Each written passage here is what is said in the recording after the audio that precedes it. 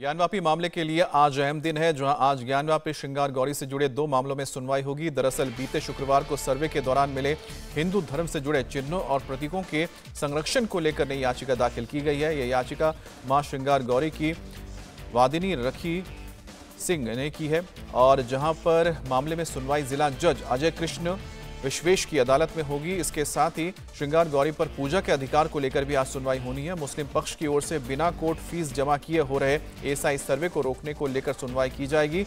हिंदू पक्ष के वकील सुभाष नंदन चतुर्वेदी ने बताया कि मामले में दोपहर दो बजे सुनवाई होगी। इंडिया टीवी, हर वक्त, हर जगह। डाउनलोड करने के लिए सर्च करें India TV news, Google play store या एप स्टोर पर।